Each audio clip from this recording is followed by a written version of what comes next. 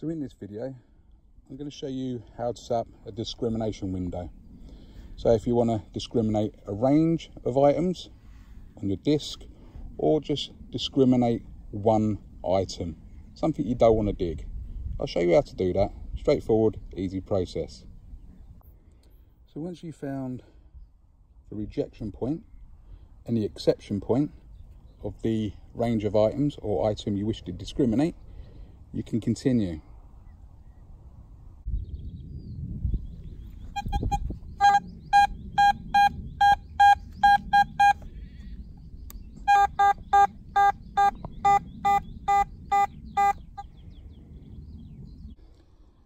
So I know that the item in question is accepted up to just below 40 on your main discrimination and it's rejected just after 40 on your alternative discrimination.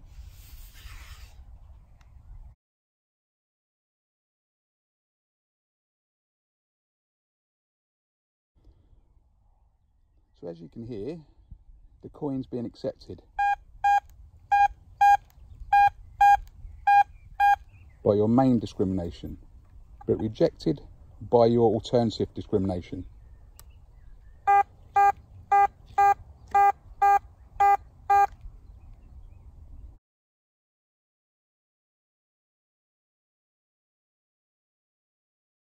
So as you saw in the previous photo, I placed down a penny.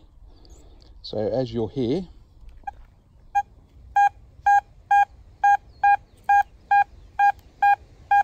Main discrimination is a high tone. Alternative discrimination, push forward.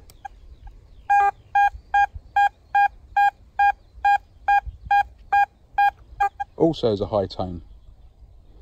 So we know going back to the pound, the old pound,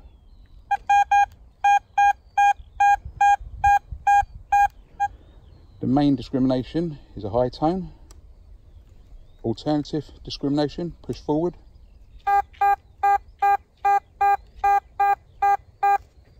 Is a low tone.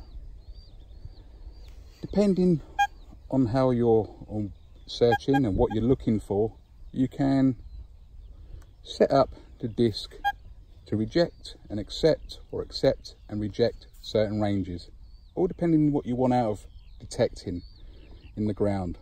But don't forget, when you discriminate out anything, you literally can lose some nice items. So always bear in mind that if you can, dig everything and only use discrimination really when you need to, when it's a must.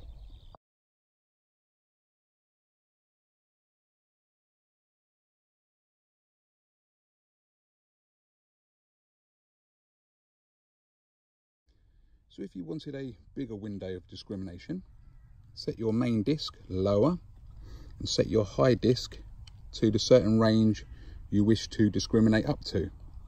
So everything on your low disc, on your main disc, anything above here will high tone. Anything above here on your alternative disc will low tone. So when you get high tone on your disc and a low tone on your alternative disc, you know that the items within that range.